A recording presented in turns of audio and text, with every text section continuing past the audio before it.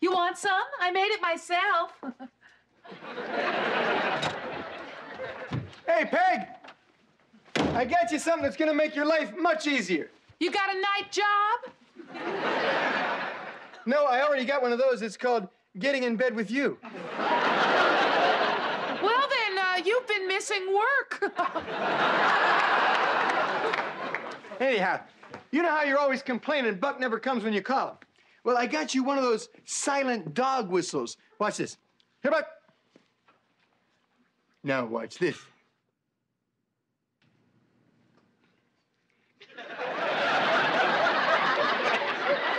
Go on, sit there and rust.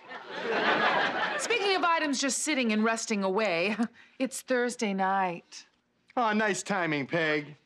You know I'm going bowling tonight. I was gonna try to break 200. Now I got this hanging over my head. Thanks a lot, Peg. Well, what's this doing up? Are we having dinner, or is this just a tease, me and the kids? No, Al. It's for later. The girls are coming over. Oh my God, they're here. Peg, I gotta go. Peg, where's my lucky bowling socks? Downstairs, warding off evil spirits. Hi! Come on in, girl. Straight into the kitchen.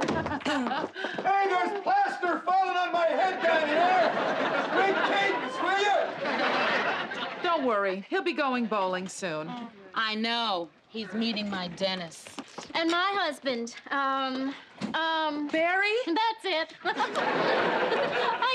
I can never think of his name. Ah. It's amazing what energy they have when they're leaving the house, but not for us. You marry them, they forget you're a woman.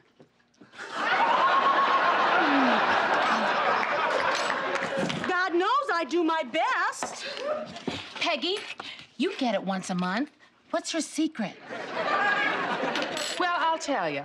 You have to catch them off guard. For instance, I'll tell Al that I'm going to take a shower before going to bed. Mm-hmm. Then I'll go and turn on the shower, and Al will hurry up and get into bed and pretend to fall asleep before I get out. Oh, Actually, though, I am hiding in the darkened room and I grab him just as he hits the mattress. sure, sometimes there's a fight, but in the end, it gave us two beautiful children. I can't understand it. Our husbands don't want to sleep with us anymore. Why?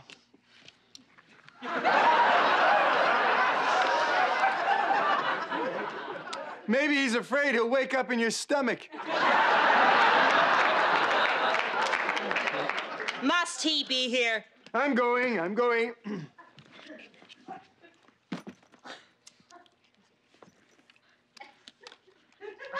Oh,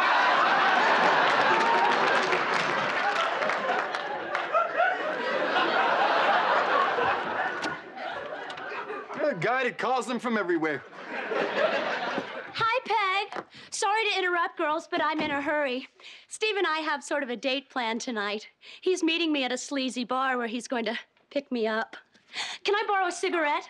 Steve just loves it when I smoke and look like trash. Sure.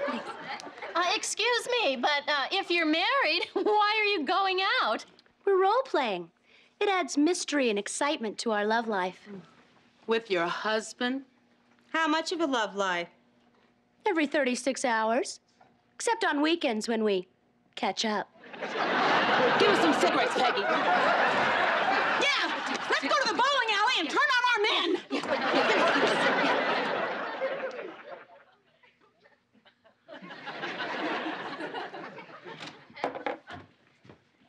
Al, what are you doing home so early? Peg, you should have seen it.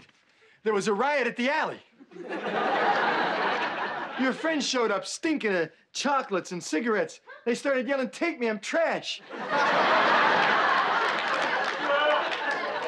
Nobody did. But then the riot started. It was ugly, Peg. Men screaming, running for the exits.